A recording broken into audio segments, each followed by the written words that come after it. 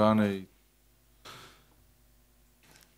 što se tiče same utakmice sutra mislim da, da smo došli u poziciju da ono što smo zacrtali pre Lige nacija da budemo tu gdje jesmo, sutra je znači utakmica jedna gdje jednostavno moramo da pokažemo svoj kvalitet i protiv Litvanije koji već su vjerovatno svi uknjižili tri boda, a mi nismo dok ne odigramo utakmicu da pečatiramo ono što smo zacrtali. A to je da budemo prvi u Ligi nacija i da dođemo u poziciju da kroz dva takmičenja steknemo pravo igranje na svjetskom prvenstvu. Mislim da su igrači svjesni u kakvoj su situaciji, što je najbitnija atmosfera je dobra. Dobili smo Crnu Goru i po drugi put. I mogu da kažem što se tiče zdravstvenog biltena da ima mali problem sa Nemanjom Matićem koji ima stomačni virus. Kolaro ima mali problem isto sa, sa njegovim prstom koji je polomio pre par nedelja ili mjesec dana, možda i jače i malo mu je otekao, tako da ćemo vidjeti sa njim da li će uopšte da trenira, Matić ostaje u, da radi posebno. Vraća nam se Fejsa koji se oporavio i dva žuta kartona su istekla i znači rodiće sa ekipom, tako da će konkurisati za tim. To je to. Hvala, prelazimo sada na vaše pitanje. Molim da koristite mikrofon, vaše ime i prezime, ime redakcije s koje dolazite prema što postavite pitanja. Rajko, izvolite. Dobro večer. Rajko Delibašić, jedinstvo Kosovska Mitrovica, TV Kis Kosovska Mitrovica. Pozdrav za obojicu. To pitao vas samo, da li vam je žao što je kompletan utisak o dobroj igri Srbije pokvaren drugim polovinom protiv Crne Gore? Koliko bi to bilo ovaj, mnogo bolje da, da, je bilo i tako i drugo vreme. I drugo, da li za sutra dobrom utakmicom može to sve ispraviti i jednim lepim utiskom završiti ove kvalifikacije? Što se tiče prvog pitanja, mislim da ovaj, možda sam i ja imao neki subjektivan osjećaj poslije utakmice gdje sam na konferenciji izjavio kako sam izjavio, međutim uveče kada sam pogledao snimak utakmice na, na televiziji, totalno bila druga slika. Može da se stekne utisak da smo mi prvo polovreme odigrali fantastično, po meni mogli smo bolje i tečnije, ali možda su pokvarili taj penal Mitrovića koji sam ja već obrazložio i gdje sam rekao da sam oprostio da su to stvari koje se dešavaju. Imali smo dvije, tri izgledne situacije koje smo mogli da riješimo, gdje smo trebali da možda da vodimo 4-5-0. Ne mogu da zamjerim igračima ništa, kažem, gledao sam tu utakmicu i, i uveče na televiziji. Drugo poredno smo također imali situacija gdje smo kontrolisali igru, taj gol koji smo primili možda je donio narednih pet minuta malu nestabilnost. Ispada na kraju da smo mi Crnu Goru gdje smo se gdje su mnogi strahovali, gdje ste nas otpisali, u Crnoj Gori dobili 2-0, odigrali odlično, gdje smo utakmicu koju smo mi pobjedili Crnu Goru 2-1 u Beogradu, ispade da Crna Gora nezasluženo izgubila, mi, mi ono, provukli se, ima situacija gdje ste vi u pravu, gdje, smo, gdje moramo da budemo tečni, gdje budemo, budemo brži, da budemo, da dokrajčimo protivnika, da, da, da se utakmica riješi pre vremena, a ne da čekamo drugo problem. Ali odnos, rad, atmosfera u reprezentaciji onakva kako sam pričao da jest, a to je sve pozitivno. Naravno na one greške koje se dešavaju i koje se dešavali i koje će se dešavati u, budućnosti pokušat ćemo da minimalizujemo i to je sastavni dio ovog, ovog našeg posla. Jednostavno to su neke stvari koje, se, koje su normalne u klubskom takmičenju, repstinom i ekipnom u kojem smo mi. Tako da to ništa nije novo. Što se tiče drugog pitanja, sutrašnja utakmica nije ni malo laka iz razloga toga zato što igramo protiv ekipe koja nije uzela ni jedan bod. Mi smo ekipa koja pre takmičenja nisam siguran da ste imali povjerenje u ove momke ponovo, bez obzira što se plasiralo na svjetsko prvenstvo, da ne kažem za mene, o, to, o tome neću da pričam uopšte.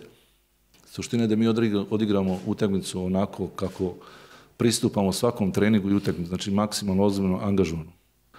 A pričat ćemo poslije utakmice kako i šta će biti. Mi idemo na tri boda, respektujemo Litvaniju, kao i sve ostale druge reprezentacije, bez obzira koji je ispred nas. Imamo svoj cilj, a to je da budemo prvi u grupi zato što smo to zaslužili ovim igrama, ovim odnosom i zato što smo najbolja ekipa. I drugo pitanje koje se nameće iz ovoga što ste sve rekli, obzirom da imate prilično staža kao selektor, da ste pomenuli dosta ovaj igrača, da li sad imamo po vama tim, više nismo tim u stvaranju kako ste ranije govorili, i da li imate sad viziju najbolje postave naše ovaj, u, u ovome? Naravno da imam viziju, naravno da smo kroz ove kvalifikacije Ligu nacija pokušali da, da formiramo i da, da damo šansu mladim igračima kao što smo dali, naravno da smo bili u situacijama gdje nismo mogli da izvedemo tim onako kako smo željeli zbog, zbog kartona, zbog povrede i naravno da ćemo nažalost i sutra biti u situaciji gdje nećemo možda da izvedemo tim kao što sam rekao i u pre, prednašem izlaganju gdje je već Matić je pod, znakom pitanja gdje neće danas da trenira, Kolarov isto ima probleme, prošlu utakmicu e, Rodić nije bio tu, vraća nam se za sljedeću, to su neke stvari koje se dešavaju. Viziju imam, imam sve u glavi, ali povrede, kartoni i sve ostalo diktiraju najbolji sastav i naravno trenutna forma. Hvala. Nastavljamo dalje sa pitanjima. Koji je sljedeći?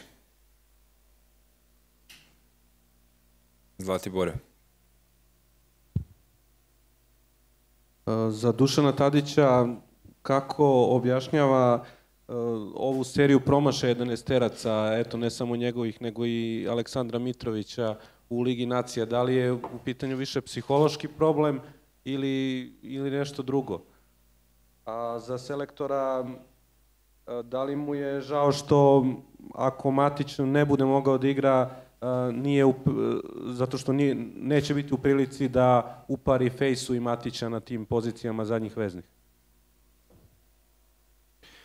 Pa dobro, mislim da penali se promašuju, mislim treba naravno da, da probamo da postignemo pogodke e, sa bele tačke. Eto, tako se namestilo. Mm, mislim i kod drugih igrača se dešava. E, treba se trudimo da ih realizujemo i jednostavno nije prihvativo sreća pa, pa nije toliko imalo utjecaj i dalje smo prvi na tabeli tako da nadam se kad budu došle bitnije utakmice da, da ćemo ih iskorišćavati. Što se tiče vašeg pitanja, mislim da mi je prvo žao što Matića nema danas na treningu, a nadam se da će do sutra sve da bude ok, ali ono da li bi upario ili ne bi, to je deo naše, naše ideje, filozofije, priče i taktike, tako da su to neke stvari koje ja nikad nisam govorio ranije, a neću ni govoriti ni u budućnosti. Hvala. Idemo dalje. Evo ja ću za Tadića. Od tebe uvijek očekujemo da budeš najbolji ili među najboljima. kako ti komentariš ove utakmice obzirom koliko, koliko umor, i stalno igranje utakmica u Ajaxu i reprezentaciji utiče na to da možda uvijek ne budeš na tom nivou na, na, na, to što mi očekujemo i drugo koliko ova, si ti zadovoljan tvojim igrama u dosadašnjem toku ovih utakmica za Ligu nacija? Pa dobro jeste, bukvalno od početka nisam ni imao pripreme, nisam ni prošao pripreme, igrao sam na svaka tri dana utakmice, tako da osjećam i bukvalno posljednje dve, tri nedelje sam se i krpio sa, sa svojim uh, trenerom Andrejom Milutinovićem, bukvalno me krpio dve, tri nedelje posljednje jer sam imao konstantan problem sa primitačima i sa, i sa leđima i dosta stvari, tako da to je sve normalno. Mislim, navikli smo da igramo po nekim i bolovima i svim tim, tako da e, pa dobro, uvek mislim da uvek može bolje. Mislim da nije bitno kako pojedinci igraju, bitno je da, da je Srbija prva na tabeli, da, da sve ide kako treba, tako da mislim da je to najbitnije. Hvala. Dalje.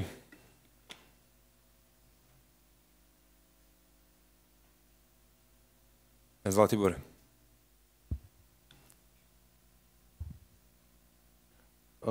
Pitanje i za selektora i za Tadića, pošto je naša reprezentacija, da kažem, na domak ostvarivanja cilja prvog mesta.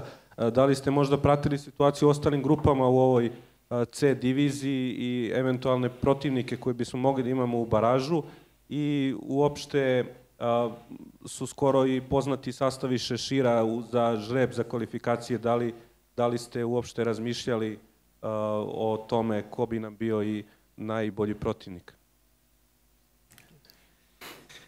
Pa ja se iskreno nadam da, da nam to neće ni biti potrebno, da kad budemo imali kvalifikacije za evropsko prvenstvo, da ćemo da se kvalifikujemo i da budemo među prve dve ekipe, tako da nadam se da, da nam taj baraž neće ni biti potreban, tako da mislim da je svima to u cilju.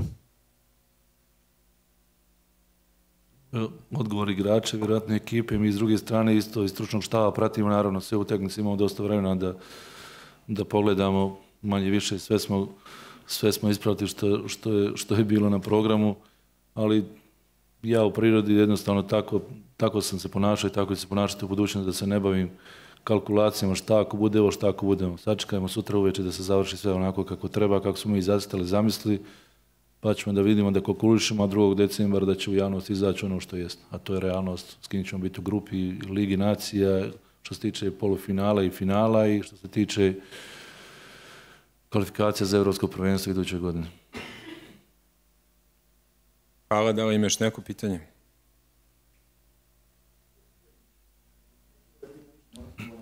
Selektore, kakvi su planovi sada posle ovaj završetka ovih, ovih kvalifikacija? Hoće li se e, reprezentacija sastajati do početka kvalifikacija, mislim onako za u, koje sleduje normalno? I drugo, ima li igrača, sem ovih koji su na spisku bili, e, na koje ćete računati možda u narodnom periodu, a nisu bili do sada pozivani?